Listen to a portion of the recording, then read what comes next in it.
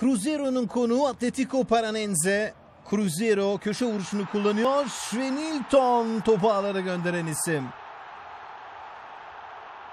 Nilton Junior ev sahibi takımı 1-0 öne geçiriyor. Cruzeiro'nun atakları devam ediyor.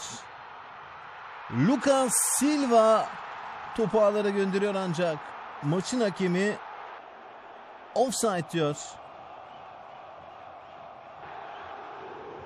İşte offside kararı çok kritik bir bayrak. Cruzeiro maçın Nilton'un golüyle 1-0 kazanıyor Atletico Paranense karşısında.